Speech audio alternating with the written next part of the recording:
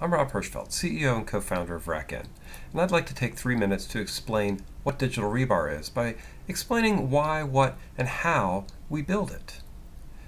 Simply put, we empower self-management by our customers because we believe fundamentally that data centers should be easy to manage, that outsourcing everything you do to somebody else's control is not the right answer. That if we made infrastructure easy to use and run, then people would be able to actually take control of their own destiny. And we do that by coming in with an opinionated, cloud style self service operational approach. And that's really important.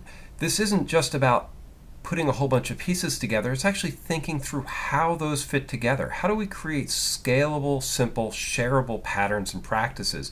Things that really embrace the heterogeneity by bridging silos. We're not saying that the infrastructure you have is bad or wrong. It's actually great, but it isn't connected into a system. And RackN sees that we can actually run data centers as an interconnected system. That's what we're doing. That's what we're helping people build.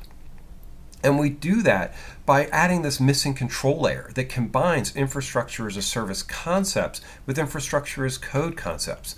Something that we're calling automated infrastructure service chaining. It actually connects all the pieces of your data center together into a complete and total system. Something that the cloud providers are doing behind the scenes for you, but we're making available for any data center in a self-managed way so that RackN isn't responsible for running your data centers you have the tools and power to run your own data center. And Digital Rebar is software that you are running, our customers are running on their own infrastructure at their own enterprise data centers, colos, and edge sites. We're not taking the control away, we're giving it back to the people who want to run their data centers. And we work with our customers to manage and integrate their current vendors. So if you have a vendor that's working for you or legacy hardware that's important, we help you with that.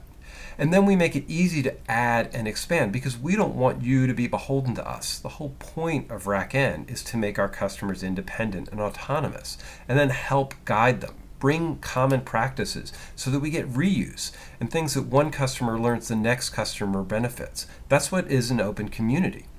And this is really where Digital Rebar comes in as a unified cloud-like API for infrastructure, right? An infrastructure as a service or IaaS. But critically, it has to be simple to understand and portable. That's what infrastructure as code brings us. These two things together are the secret to RackN's success. We make infrastructure easy to own again.